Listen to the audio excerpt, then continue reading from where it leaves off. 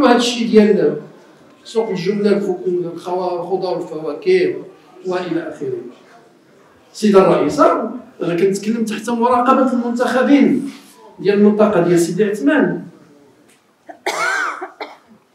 مرفق كمرفق. راه موجود كاين خدمات ولكن في المحيط ديالو المنطقة ديال الزيروكات.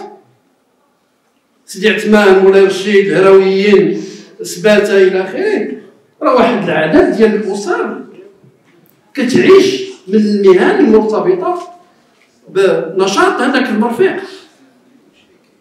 واش فكرتوا ولا ما فكرتوش؟ وهاد الناس ساكنين تما كاريين تما عايشين تما.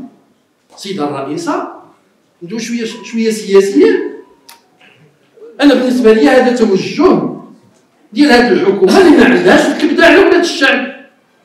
على الطبقات الهشة دمرات الخضرة الشرائية ديالهم بلا ما نسمي كبار هذه الحكومة وهذه الأغلبية واقعين غارقين حتى الودنين في تضارب المصالح في استنزاف الثروات تاع الأمة ديال الشعب وفي عز الأزمة ديال ديال ديال كورونا ضعف الثروات ديالهم.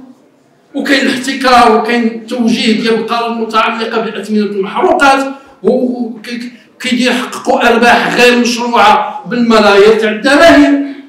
وكاين شبه احتكار قطاع الغاز ومؤخرا المحطة ديال تحلية المياه بطريقة غير ما فيهاش منافسة والتقرير ديال لجنة المنافسة راه الله صدر فيه أهم ما فيه وأول ما فيه هو الإدانة ديال هذوك الشركات ديال المحروقات اللي فيها تواضع على الأثمنة. إذا كاين واحد التوجه عام ديال هذه الأغلبية الحكومة باغي ندقدقوا هاد الفئات الهشة ولاد الشعب وهذا المشروع ما خديتوش ماشي ماشي حتى ديروه وتقطعوا فيه أشواط عاد واش غادي نجلسوا مع دوك المهنيين ونشوفوا شنو غادي يناسبهم؟ آه السيدة الرئيسة؟ ردوا البال راكم كتلعبوا بالنار راكم كتهددوا الاستقرار. راكم كتهددوا السلم الاجتماعي في ظرفية صعبة على الجميع.